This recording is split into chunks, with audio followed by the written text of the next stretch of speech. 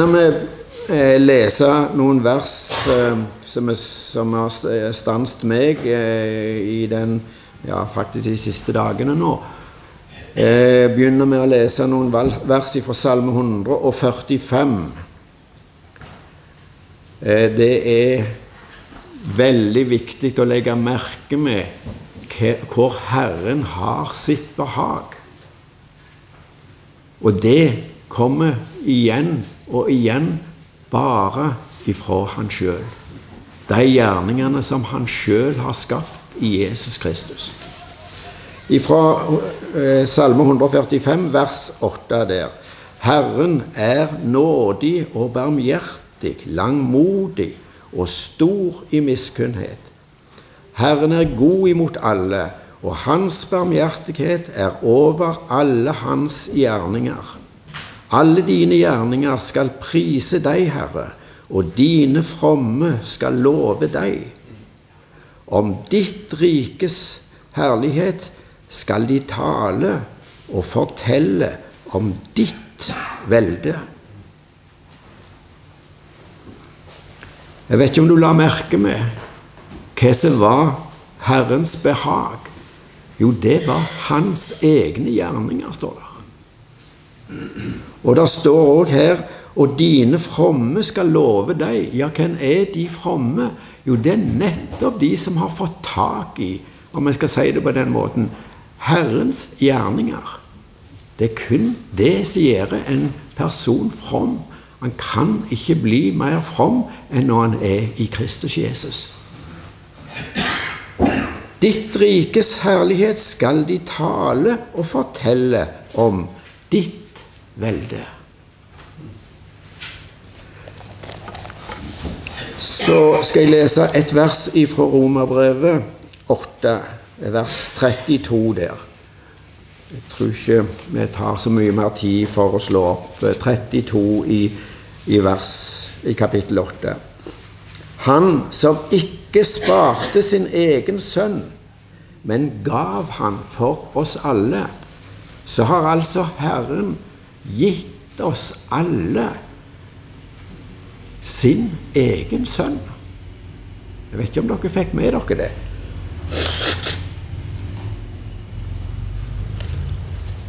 Han har altså helt klart gitt oss dette som gave. Han som ikke sparte sin egen sønn, men gav han for oss alle. Hvorledes skulle han kunne annet enn å gi oss alle ting med Han. Alle ting med Han. Alt det vi leste fra Salme 145, alle disse gjerningene som Herren hadde behag i, de har Han òg gitt oss med Jesus, som om det var utført av oss sjøl. Eller rettere sagt, når vi finnes i Kristus, så er vi i Han og gjort Han lik, altså er det der står. Jeg vet ikke, Klarer du å få det med deg, dette? Det er så svære ting at uh, jeg tror vi trenger å be mye til Herren om at Han må åpne vår forstand, sånn at vi får dette med oss. Han som ikke sparte, hør det igjen, sin egen sønn, men gav han for oss alle til vår frelse, altså. Hvorledes skulle han kunne annet enn gi oss alle ting med Han? Gå hjem og les det om igjen og om igjen. Romerbrevet 8, 32. Ja, takk, Herre Jesus, for at vi skal få regne med dette som du sier i ditt ord. Du ser disse svære ting, at vi, vi klarer ikke å tro dette. Men det er vårt håp, det er det, Herre. Men må du åpne opp vår forstand, sånn at vi kan forstå disse skriftene. Og det er ikke gitt noe menneske å forstå dette av seg sjøl. Det er Din Hellige Ånd som åpenbarer dette for oss. Og Derfor så ber vi, Herre, at du må være nådig imot oss og vise oss dette. Og det er vår frelse det snakkes om her. Og vi er avhengig av at du òg åpner opp dette. Så vil jeg be òg for Dagfinn som skal bære ordet fram nå i formiddag, må du òg tale til han, sånn at det blir dine ord til oss gjennom han. Vi kan ikke stole på noe menneske, men alene på ditt ord. og Derfor så må du fri oss ifra våre tanker og vår forstand, sånn at dine tanker og dine veier må bli bretta ut for oss, Herre. Og du sjå i nåde til hver enkelt av oss som er samla her i dag. For ditt hellige navns skyld ber vi deg, Herre. Amen. Er det igjen. I formiddag så skal vi lese sammen fra Matteusevangeliet, det femte kapittel fra Bergprekenen. Og vi skal lese fra vers 13 og til vers 16 i Jesu navn. Dere er Ja, jeg skulle gi tid til å, å lete fram først. altså, det var eh, Matteus kapittel 5 og vers 13 til 16.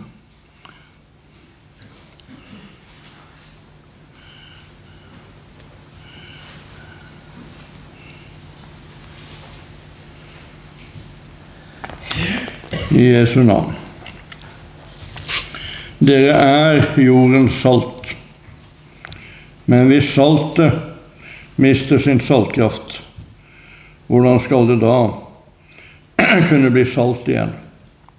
Da er det ikke godt for noe annet enn å kastes ut og bli tråkket ned av menneskene. Dere er verdens lys. En by som ligger på et fjell, kan ikke skjules.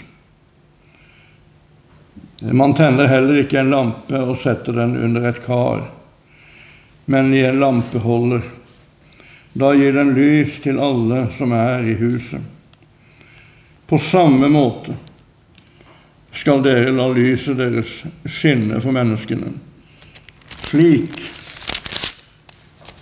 at de kan se de gode gjerningene deres og ære deres Far, Han som er i himmelen. Slik lyder Herrens ord. Herre Gud, himmelske Far, dette var ordet ditt til oss. Hellige du oss i sannheten. Ditt ord er sannhet. Amen. En underlig tekst, tenker du kanskje. Det har i hvert fall jeg tenkt. Eh, eh, som eh, bruker noen ord og uttrykk som Jesus egentlig har brukt om seg sjøl. Men nå vender han det mot sine troende.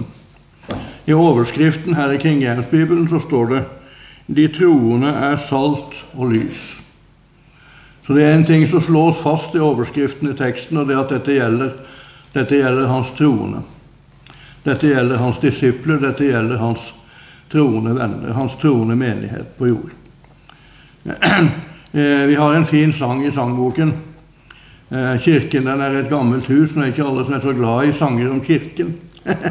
men, eh, men kirken, eklesia, det betyr nå i alle fall den hellige forsamling, den troende forsamling. Og den er hellig ikke fordi den er hellig i seg sjøl, men fordi han de tror på, er hellig. Det bor Gjerts veldig tydelig på at det fins ingen hellig forsamling uten de hellige midler, uten de hellige nådemidler. Det fins ingen hellig menighet uten at, at, de har en hellig Herre og en rettferdig Herre. Eh, og eh, det er det som gjør og er hele saken. Det er det de samles om, ikke sant? Og, og jeg vet ikke om mange har lest Steingrunnen, så har de vel lest denne unge Fridfeldt, som i, i sin iver ville irettesette sognepresten fordi han røkte sigar og tok seg et, et glass vin om kvelden og syntes han var lite åndelig.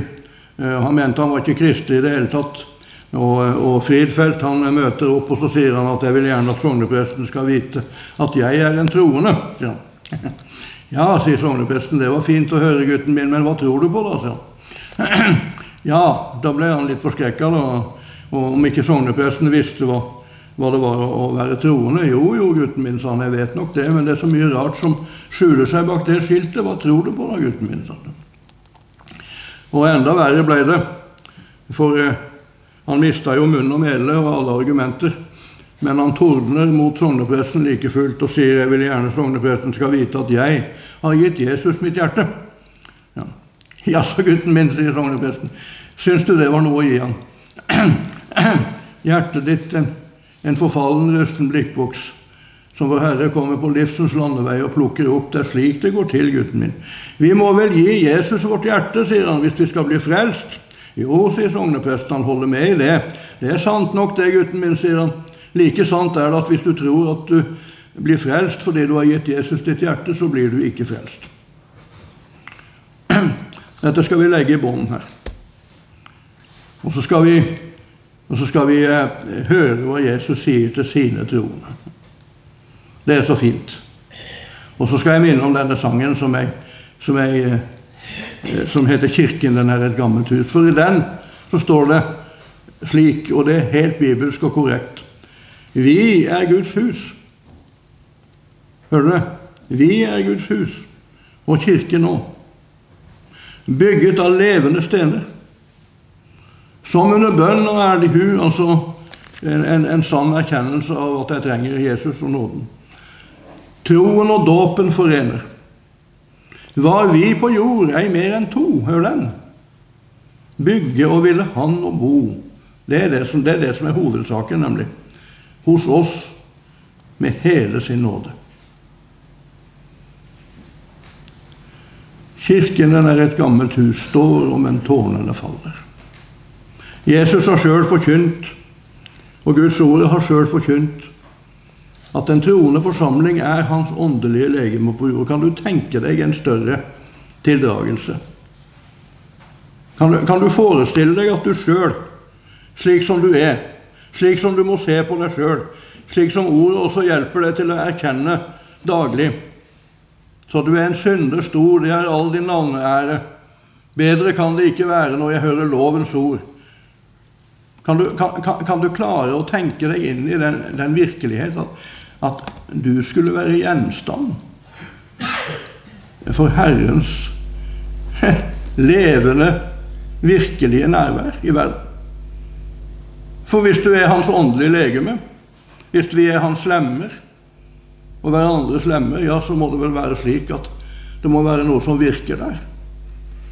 Og Det er det som er så sørgelig, at jeg og du alltid faller i den grøfta og tror at det er vi som virker der. At det er vi og, og, og vår kristendom som virker der. Nei, det er Han som virker der. Og Derfor så jeg, tenkte jeg, når jeg begynte å arbeide med denne teksten en gang for mange år siden, så tenkte jeg det står 'dere er'. Ja, men Jesus, du, du, du, du sier jo 'jeg er'.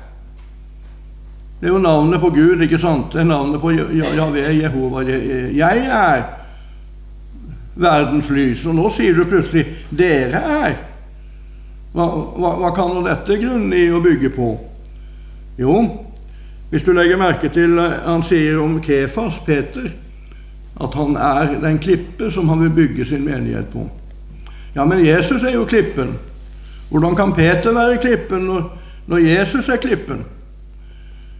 Og da fikk jeg meg det forklart en gang at jo, men, men, men, men Peter, Kefas, det betyr en sten tatt ut av grunnfjellene, tatt ut av klippen. Og eh, dette at vi er verdens lys, eh, det handler jo om at Han får tenne lyset i våre hjerter. Det, det, det, handler jo, det handler jo om Han hele tiden. Det er jo Han som har kommet til meg med lyset. Det er Han som skinner og stråler i evangeliet, ved troen. Derfor er det altså tale om den troende forsamling. Og han taler til den troende forsamling. Og så sier han noe som vi kristne veldig ofte roter oss bort. Vi snakka om det i går også. Vi roter oss helt bort her. Og så sitter vi der og henger med huene og ser på vår synd og elendighet, og så sier vi ja, ja, hadde det enda vært sånn, Eh, Vi skulle vel og burde vel ha vært sånn. Og Jeg satt i en, en bibelgruppe i Florø en gang. eh, Jeg skal ikke nevne hvor det var, eller i hvilken sammenheng det var, men, men eh, det ble sagt det at ja, ja Det står jo i Bibelen at vi, vi, vi, burde jo, vi burde jo lyse for Jesus. Vi burde jo være lys og salt for ham. Men akk, det står så dårlig til. Så sa jeg ja, det står dårlig til, men jeg har ikke lest det der, sa jeg. Har du ikke lest det, så? Nei, jeg har ikke lest det at det skulle og burde være lys og salt. Det har jeg ikke lest. Ja, men du er jo predikant, har gått på bibelskole og alt. Du skulle vel ha lest det? Det er jo et enkelt vers. Jeg skal slå opp, og så skal jeg lese for deg, så. Og så gjorde hun det. og leste det som jeg har lest nettopp nå. Dere er jordens salt, dere er verdens lys. Ja, så sa jeg, det står det seg. Det, det vet jeg jo at det står, men det står ikke det du sa, jeg. Jeg, jeg, jeg, jeg, har, jeg ikke sagt noe annet. Det sa jo, så sa du sa du har sagt at du bør og skal være det. Hæ? Ja men, ja, men vi er jo ikke det, sa hun, sånn som vi lever. Ja, så sa jeg det bygger ikke på det, så er det bygger på Herrens ord. Det du sier nå, så er det vantro. For her i min tekst så står det ikke 'du bør og skal være lys og salt'. Nei, det gjør det ikke. Her står det enkelt og greit at ved troen på Han så er jeg lys. Jeg er salt i denne verden. Og i den grad det spinner den minste lille tøddel av en sann og levende tro i ditt hjerte, så er du det Gud har sagt du er. For det er et skaperord av Han. Det er Han som avgjør den saken, det er ikke du. Nei, det du har å bestille, og det tror jeg vi var inne på i går ganske tydelig Det du har å bestille, det er å klynge deg til Han i syndenes forlatelse. Det som Luther sa, vi har nok med syndenes forlatelse og de ti bud. Ja, visselig. visselig har vi det. Og, og, og, og det, det, er den kristnes grunnvilkår, ikke sant? Det at jeg alltid må til Jesus. Og det at eh, hvis jeg skal være glad og lykkelig og ha fred og glede og framtid og håp, så må jeg til Jesus. Jeg kan ikke finne det noe annet sted. Jeg kan heller ikke finne noe grunnvoll eller grunnlag i mitt eget liv og ut fra min egen kristendom på at jeg er lys og salt i verden. Nei, det tror jeg fordi Herren har sagt det. Han har sagt det her. Jeg har lest det for deg nå. Dere er Det er et mektig ord fra Gud til ditt hjerte. Til, til deg. Du som ikke vet er noe annet til frelse enn Jesus Kristus og Han korsfestet. Jo da, vi kunne stå her og preke så lenge at jeg ikke fikk komme til saken i det hele tatt om hvor, hvor syndige og elendige vi er. Hvor elendig det står til med meg. Luther, eh, ikke Luther, men Carl Fredrik Wisløff sa det en gang. Denne arme stakkaren som står her, hadde visst nok med å snakke om seg selv om det så, i så måte, sier han. Jeg trenger visst ikke se på forsamlingen. Jeg trenger bare å se på meg selv, sier, sier Wisløff, så, så har jeg mer enn nok til å være deprimert i resten av mitt liv. Jo da, men jeg slipper det, for jeg har fått, et annet, jeg har fått noe annet å se på. Jeg har fått noe annet å klynge meg til. I alt som heter gjerning, og som, skal, og som skal ha noe med min frelse å gjøre, så har jeg Jesus å se på, og hans gjerninger. Så har jeg Jesus å se på, og hans liv. Så vet jeg at dette blir tilregnet meg i et domsord fra Herren. Han dømmer meg rettferdig på grunn av en annen. Og han fordømmer meg når jeg forkaster denne, denne frelse som, som Jesus er. For den som ikke har Sønnen, har ikke livet. Men den som har Sønnen, har livet. Det står fast uansett hva du måtte finne av mangler og feil i ditt eget liv. Jeg hadde ungdomsleir nå på, på, på, på ELM oppe i Telemark, og der snakka vi mye om dette. For de var så opptatt av alt de fant hos seg sjøl som ikke var rett. Og jeg måtte bare spørre. Jeg gjorde meg selvfølgelig litt til, og så sa jeg jeg er, jeg er, jeg er nesten forskrekka, men, men er det noen her som har innbilt seg noe annet? Når de vitna og de snakka og de i samtaler satt og sa det at ja, det var så elendig med de, de kunne ikke forstå hvordan de kunne være kristne. Jeg, jeg, jeg sperra øynene opp litt, litt sånn skuespilleraktig, litt hykleraktig kanskje. Og så sa jeg ja, men, ja, men kjære deg, eh, er det, er det noe, er det noe du, du, undrer deg over? Står, står, står ikke det her? Er ikke det selve åpenbaringen av loven? Er ikke det selve åpenbaringen i lyset? At Guds lys skinner i ditt hjerte, og du må se at det er ikke noe frelse i deg, i ditt liv, i dine gjerninger. Det skulle du vel vite. Å nei, sjøl de som står og vitner høyest om nåde, veit altfor lite. Har sett det altfor lite. Vi vet det at det er noe som vi i den daglige omvendelse må erfare på nytt og på nytt. Vi må se det enda mer. Her gjelder hebreerbrevet til fulle. Han har tvettet oss på legemet med rent vann. Og han har renset oss på hjertene fra en ond samvittighet. Hva er det for noe? Jo, det er troen.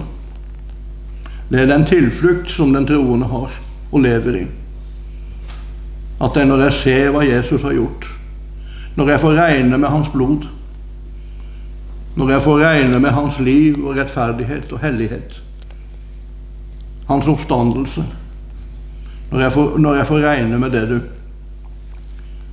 da vet jeg at det står vel til med min sjel. Da vet jeg at jeg står for Gud som allting vet, riktignok, og slår mitt øye skamfullt ned. Se min synd, at den er stor i tanker, gjerninger og ord. Det meg gjennom hjertet skjær. Og Gud, meg synder nådig vær. Men hva står det om den som må be slik? Jo, han gikk rettferdiggjort hjem til sitt hus.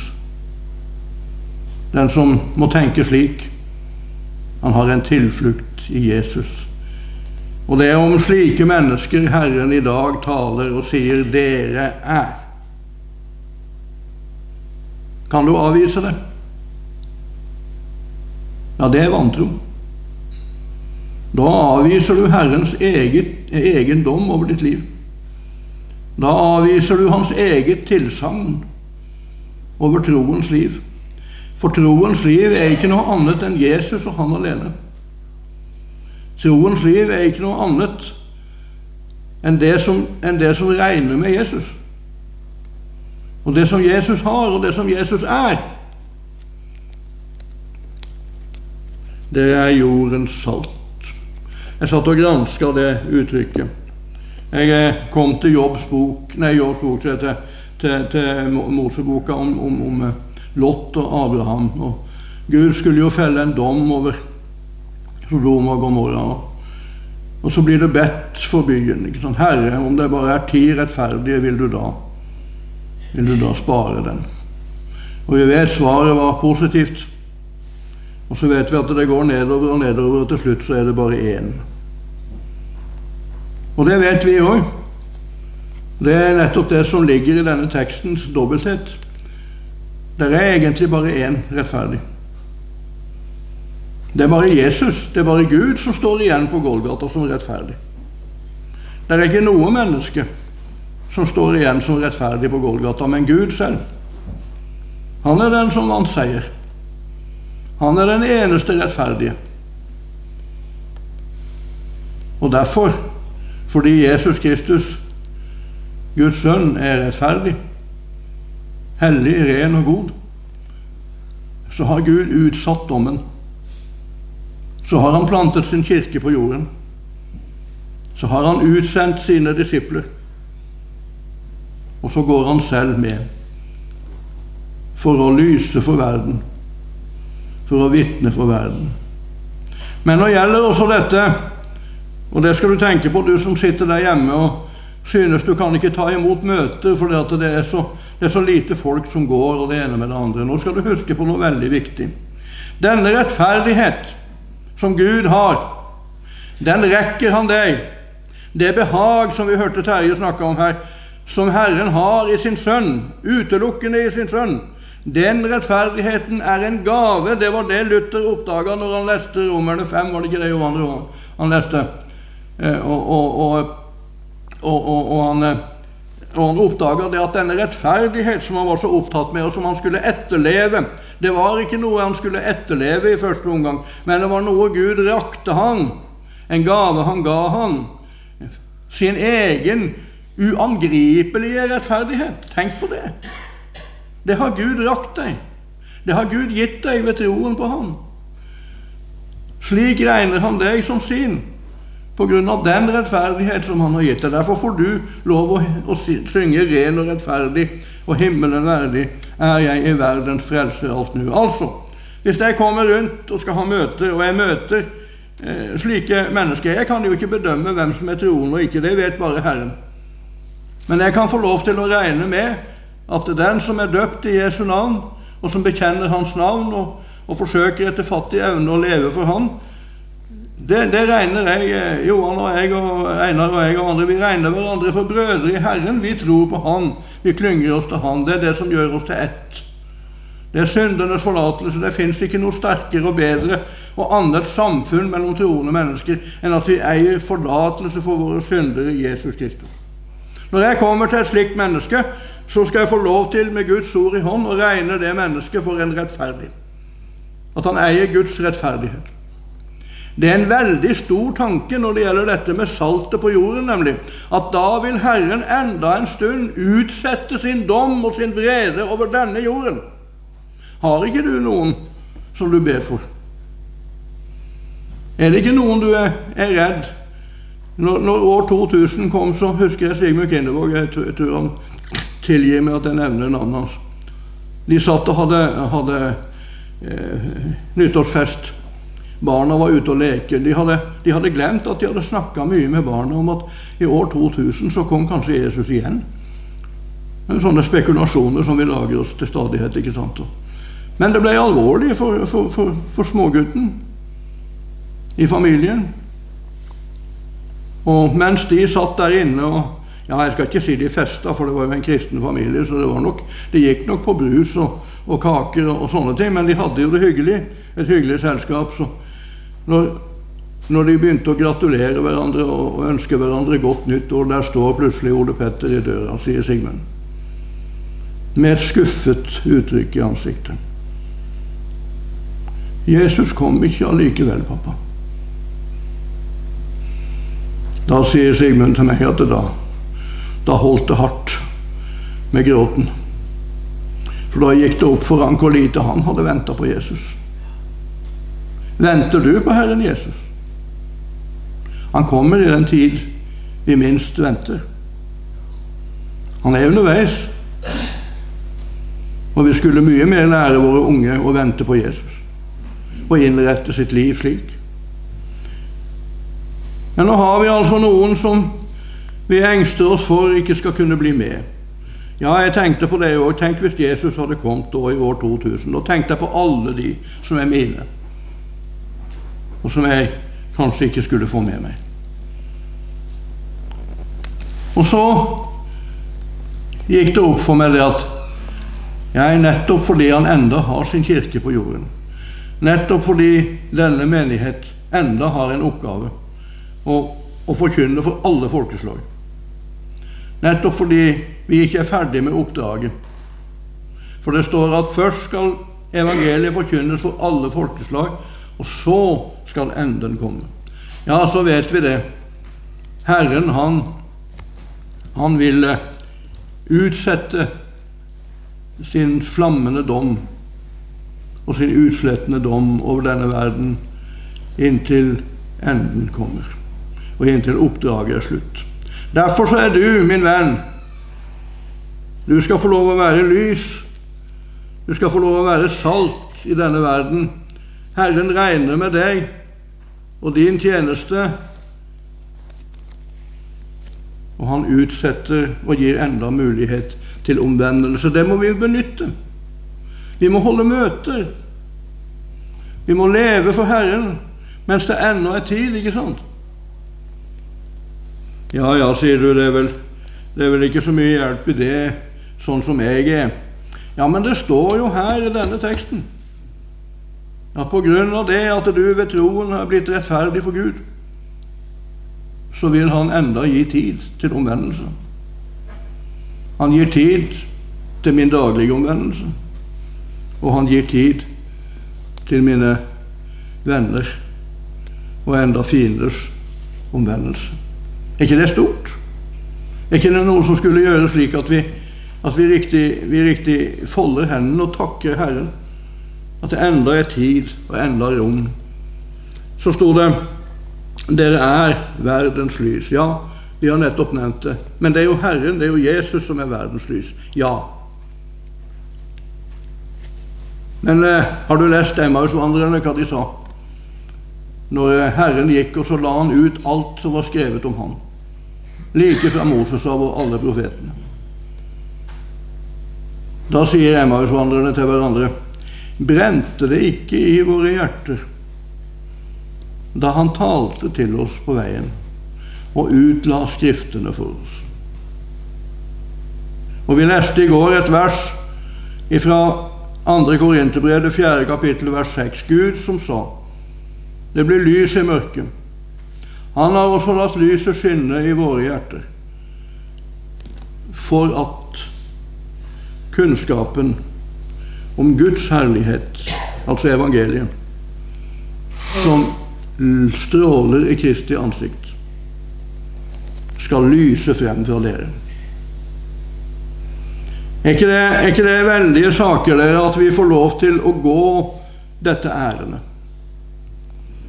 At vi får lov til å eie dette lyset og bringe det til en døende verden.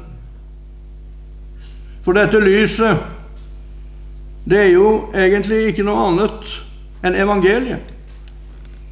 Det er jo egentlig ikke noe annet enn Guds ord. Og Derfor er det så viktig at jeg og du er opptatt med dette i vår forsamling. At vi forkynner et evangelium uten heftelse. At du forkynner et rent ord, altså. Et ord som er i stand til å stikke i hjertet, så de må spørre hva skal vi gjøre, brødre? Men også et ord som er i stand til å trøste og hjelpe og frelse en fattig synder. Vi må ta vare på oppgaven på den måten at Jesus får lov til å tre frem for menneskene. Det var en som sa det om dette som Luther har sagt om at det herlige lys det er skjelningen mellom lov og evangelium. Så sa han det slik For når vi skjelner mellom lov og evangelium, da stiger Kristus frem fra Skriften. Og skulle ikke du ønske at, at det var slik hos deg? At det er slik hos meg? Og så har jeg fått dette løftet at derfor jeg klynger meg til Jesus og får vitne om Han. er nettopp fyller Han min hverdag. Der nettopp fyller Han mine gjerninger. Der stiger Han frem eh, for menneskene. For mitt eget blikk, indre blikk, men også for mine medmennesker, stiger Jesus frem som frelser og forsoner. Vi er Kristi brev til verden, kjent og lest av alle. I gamle oversettelsen så sto det litt annerledes på slutten her. For det sto Vi Ja, må vi se, jeg må se. Det er ikke like lett å, å se her hva som står, men Jo, på samme måte står det her, men i, i 30-oversettelsen står det La således deres lys skinne for menneskene, at de må se de gode gjerningene dere gjør, og prise deres Far i himmelen. Det syns jeg er mye bedre sagt, egentlig. Det, det er greit, det som står her, men jeg syns oversettelsen er veldig god der. La således, altså på denne måten, deres lys skinne for menneskene. Hva mener, han med det? Jo, her er det sånn at jeg og du vi blir veldig opptatt med våre gjerninger. Her er det sånn at eh, vi syns liksom ikke vi har gode gjerninger. Nei, det er så mye som hefter ved våre gjerninger. Det er så lite, det er så lite med det. ikke sant? Det er lite, vi er så lite overgitt. Vi, vi, vi, er så hykleriske når vi gjør gode gjerninger. Jo, vi gjør det Gud vil fordi vi vet at han, han, vil det, men vi er liksom ikke med Nå var det en som sa det at det hjelper jo ikke det, sa han, å leve for Gud og gjøre gode gjerninger når jeg, når jeg egentlig vil noe annet. Men da husker jeg biskop Torkin Masvi, han preka på, på, på, på Messiaskirkens gudstjeneste, så sa han det. Hva skal vi si til dette, sa han, at du kan ikke gjøre gode gjerninger, og du kan ikke leve for Jesus siden ditt hjerte ikke er helt med. Og så sa han nå må du skru av, sa han til han som streama, for nå skal jeg si noe som ikke passer seg på TV. Og så ropte han ut, drit i det, sa han. Bare gjør det. For du blir jo allikevel aldri som du skulle og burde allikevel, for du har jo et gammelt kjød. Jeg tenkte meg noe så frigjørende, noe så herlig. Tenk, jeg skal få lov til å gå Herrens ærend. I min skrøpelighet og i min elendighet. Tenk at jeg skal få lov å holde meg til Guds ord og til Guds bud. Jeg skal få lov til å, å, å, å si nei til mine synder og, og ja til Jesus og, Hans ord. Og så skal jeg få lov å gå ut i verden og gjøre det som jeg vet at Herren ønsker at jeg skulle gjøre. Det er slett ikke noe frelse i det, det vet vi godt. Men vi vet også det at det er ikke gjerningen i seg selv det er tale om i denne teksten, her, men det som fyller den. Hva fyller en troendes gjerning? Hva fyller en troendes liv? Jo, nettopp Jesu Kristi eget reelle nærvær ved troen. Nettopp dette at han, han stiger frem. Han bruker ditt liv, han bruker ditt yrke. Du, vel, du kan vel den sangen 'Jeg hev et tjeneste stor for Gud'. Det står så fint i den sangen annet der arbeidstrøya er presteskrud. Og heimen han er mi kyrkje. Til alt mitt arbeid stig engler ned. De hev Guds rike velsigning med. Av småting skal storverk bli storverk vunnet. Tenk å få lov til å være et skrøpelig, syndig menneske som klynger seg daglig til troen på Jesus i syndernes forlatelse, og som får lov til å vite og tro ut fra en slik tekst som dette, at Jesus, han gjør mitt liv til gjenstand for sitt eget reelle nærvær. Først og fremst vil han møte meg og deg daglig i synd og nåde. Og så vil han tre frem for mine naboer, for mine venner. Nå skal vi prøve liksom å gjøre så veldig spesielle gjerninger, vi. Men det du skal være opptatt med, min venn, det er nettopp dette å holde deg til Jesus. Jeg skal fortelle helt til slutt en liten historie fra Rosenius. Det var en ung gutt. Han var hjemme hos far. Far hadde lært han å stole på nåden. Han hadde lært han å stole på Jesus og tro på ham. Og gutten var grepet av en slik glede og fred og snakka stadig om dette, hva han hadde i Jesus. Men eh, så flytta han. Han kom til et bedehus med noen gamle stabeiser som syntes han var for glad. Dette måtte de ta knekken på. Og de begynte å lære han at han måtte lese loven. Han måtte få mer alvor over synden. Når gutten kom hjem til far på ferie på sommeren, så var troens ild nær sagt dødd ut i øynene hans. Og far spør gutten, 'Hva er det som er i veien, gutten min?' Jo, det, han hadde just ikke tatt det alvorlig nok med synden. Og gutten min, sier far. Gud velsigne slike fedre og mødre. Gutten min, sier han. Hold deg til Jesus, du gutten min, så skal det vel bli en råd med synden, sin. Ja, slik er det. Det er den kristnes grunnvilkår. Hold deg til Jesus, du. Tro på Han. Hva tror du på, da? Jo, tro på Jesus. Skjul deg i Han. Så skal det vel også bli en råd med lyset. Så skal det vel også bli en råd med saltet. Så skal det i alle fall bli en råd med synden. Gud velsigne deg, du som er her på stevnet, at du kan få reise hjem styrket i troen på Jesus. Og vil du bære frukt for Han, vil du leve et rett kristent liv, vil du eie et hellig liv, så er det bare én vei. Det er bare én ting Klyng deg til Jesus. Hold deg til Han. Sug til deg all din næring ifra Han, så du kan få være trøstet og glad i syndenes forlatelse daglig. Søk Hans hjelp i sorgen, i nøden. Søk å finne tilbake til den gleden som evangeliet gir.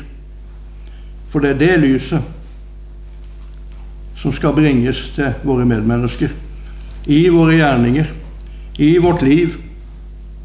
Ikke fordi våre gjerninger som sagt er så spesielle, men fordi Han fyller dem. Fordi Han trer frem gjennom sine troende. Gjennom sin kirke på jorden trer Han frem og har gjort det i alle tider. Så kommer Han til mine medmennesker med sitt kall. Så åpenbarer Han seg for dem. Så står Han frem for dem som et budskap om synd og nåde. Ja, sier du, kunne jeg bare tro det? Ja, ja, han har sagt det. Det er, det er han som sier det, det er ikke Sandal. Det håper jeg du, du har, har, forstått. Det er ikke noe jeg har dikta. Det er Jesus som kaller deg lys og salt. Det er Jesus som har sendt deg. Det er Jesus som, så sant du har en levende tro på Han, det er det du i så fall skal være opptatt med. Har du det, og har du det, så har Han fylt deg med sitt nærvær. Så vil Han fylle deg daglig med sitt eget reelle nærvær i denne verden. Det er stort, det er veldig, og det er nesten ikke til å tro. Fordi at det, du finner ikke den virkeligheten hos deg sjøl som gjør at du kan være trygg på det. Nei, det eneste du må være, få lov å være trygg på, det er at han døde for deg. Han sto opp igjen for deg. Han er din. Han vil ha med deg å gjøre. La meg få si det ganske enkelt slik som jeg sa til en ung venn av meg da jeg forlot eh, Frikirken i Vesterålen. Så var han så lei seg for at jeg skulle slutte. Takk og pris at det finnes noen ungdommer som, som er det òg. Så sa jeg det til han, jeg la handa på skulderen hans, og så sa jeg 'gå med Gud'. Og det, det ordet, det, det tok han visst til seg. Det har han skrevet til meg flere ganger i tekstmeldinger. 'Jeg går med Gud'. Ja, takk og lov. Det er bare én måte å gjøre det på. Det å få lov å bli ved og skue inn i frihetens fullkomne lov. Det å skue Jesus. Jeg skulle synge en sang til avslutning, og det skal jeg gjøre nå.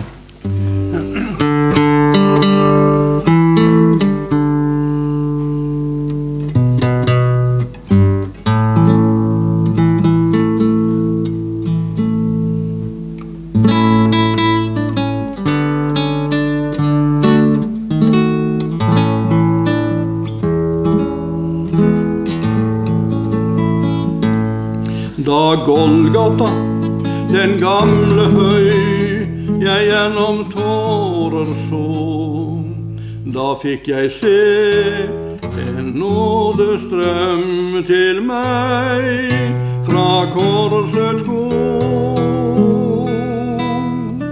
Nådestrømmer fra korset ned, dyp som havet tid og for evighet. Nåde nok for meg. Da der jeg sto, mitt hjerte skalv, jeg visste ingen vei. Jeg trodde knapt det syn jeg så. Tenk nåde nok